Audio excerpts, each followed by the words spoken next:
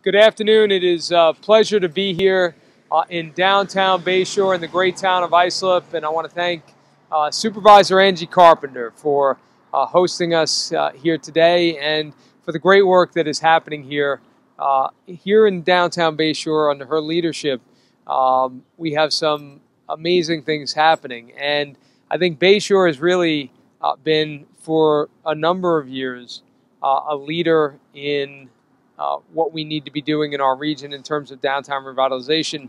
And the supervisor has been at the forefront of that, uh, not only as town supervisor, but also as a county legislator uh, and a public official for a, a, number of years. This downtown revitalization uh, effort here in Bay Shore has really uh, led the way in, in, in, many ways. And that progress that we have seen here is continuing. You know, our, our focus in the county is supporting uh, the things that are necessary for us to retain and attract young people to our region. Uh, that is critical for us reaching our economic potential here. Uh, and when you when you see a, a great uh, downtown like this uh, flourishing, where you have uh, the the leadership here that is making the right decisions to help expand the tax base to provide the kind of housing that's necessary for young people, to uh, help the small business uh, community by expanding their customer base in the downtown. Uh, we're doing all the elements, building next to, adjacent to transportation. You, you're putting together all the elements that are necessary for us uh, in this region to reach our economic potential. And an essential ingredient in that effort is leadership. Uh, and I want to compliment Supervisor Carpenter for uh, the work that she has done here uh, in this effort in downtown revitalization here in Bay Shore. And in Suffolk County, we are working to support uh, these great efforts. Uh, and that includes a project that is of great importance here, uh, the Bayway Corridor Project. And this is a really significant project because it's helping to link two of our major transportation assets in the region, and of course in, in this downtown and the town of Islip, uh, the uh, Bay Shore train station and the Fire Island ferries at the end of Maple Avenue. So this Bayway Corridor project that the town of Islip has launched uh, is a critical project that is linking up these major transportation assets and supporting the great downtown revitalization efforts that are happening here in Bay Shore, where you're expanding pedestrian ac access, cyclists uh, who can take the train and be able to access uh, the Fire Island ferries and vice versa. And of course, be able to go into the downtown, into the restaurants and the shops, and uh, do all of those things that uh, people love to do, particularly uh, all people, particularly the young people that we need to attract here. So I, I want to thank the supervisor. I want to recognize uh, their uh, traffic engineer, Dave Lopez, and also with us from Discover Long Island, Maggie Lacasse, uh, who I know uh, they have been leaders in working to support efforts like this and promoting tourism.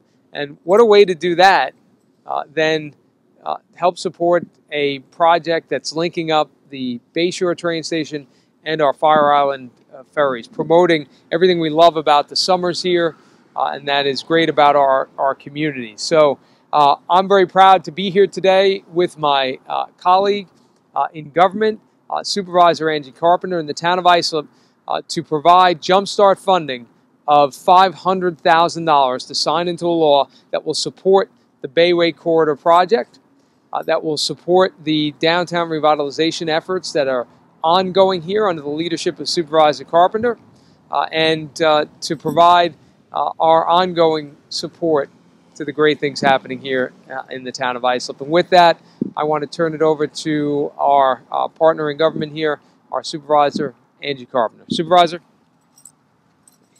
Thank you so much, County Executive Bellone.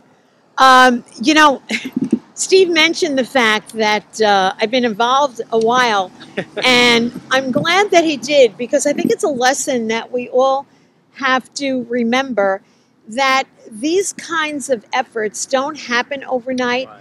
As much as everyone wants everything to happen right away, it doesn't. And my history with Bay Shore, the downtown, goes back when I first joined the legislature and that is well over 20 years ago.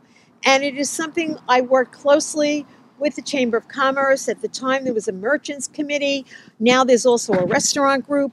But stakeholders in the community coming together, the Summit Council, the school was very involved, in every single community group meeting on a monthly basis trying to address the issues of the downtown, particularly.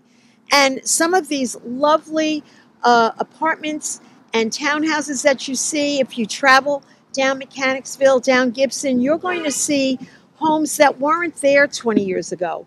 And what happened, and it all goes to what I know the county executive has been espousing for a long time, and that's transit oriented development.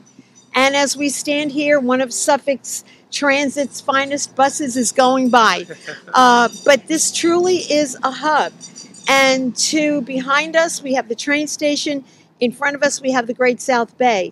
And this Bayway Corridor project is connecting those so very, very well. With the bike paths and newly paved roads, the reaction from the community has been extraordinarily positive. You know, the town has sought grant funding for continued improvements to the downtown Bay Shore area after the completion of the Bayway Corridor project. And this additional funding will allow for infrastructure upgrades above and beyond the scope of the Bayway Corridor project, including uh, paving, ADA compliant sidewalks, ramps, decorative pedestrian lighting, traffic calming implementation, and pedestrian safety improvements.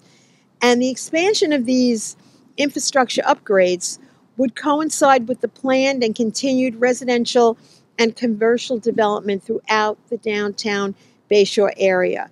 You know, this is an incredible hamlet, this downtown Bay Shore. There's such a sense of community pride as there are with hamlets across this great county of ours. But I see so many young people wanting to come back to where they grew up continue putting their roots down here and raising their families there. And so many of these projects that have been approved, built, and many more on the books to be approved and built are going to see those dreams come true. And Bay Shore truly is one of those walkable communities that we all aspire to. So I want to thank the county, the Jumpstart program, their confidence in what we have done here in the hamlet of Bay Shore. And uh, I want to thank our community partners, certainly the Chamber of Commerce, um, the restaurant group, and everyone, and certainly the businesses in downtown Bayshore, uh, and everything that is going on in this wonderful hamlet of Bay Shore. And I would be remiss if I didn't acknowledge the efforts of our Commissioner of uh, Public Works, Tom Owens, and his incredible staff. Peter Klutchko was not able to be here today, but David Lopez, who is our traffic engineer who does an incredible job. They care so much about this hamlet, and it's really, really starting to show. So, County Executive, I thank you very much. Thank you, Supervisor. You're welcome. And truly, um, a, tremendous job here. And I think the Supervisor hit the nail on the head when she talked about, how are you? when she when she talked about the fact that you know if you want to do things of significance you know, you have to think beyond, you know, a two-year election cycle or a four-year election cycle. Things that really matter that are going to change our communities for the better, that are going to help our communities prosper, they take a long time.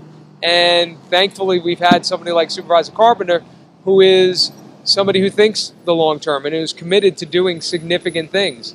Uh, that is, believe me, more than half the battle in all this. And that's why uh, it's easy uh, for the county to be in a position to partner uh, when you're seeing leadership like this at the local level that is driving forward projects of, of significance, not only for the local community, but that are projects of regional significance that are going to help make things better for every family and every community in our county. So, Supervisor, congratulations to you. And uh, if it's okay with you, we're going to sign the bill now. Sounds good okay.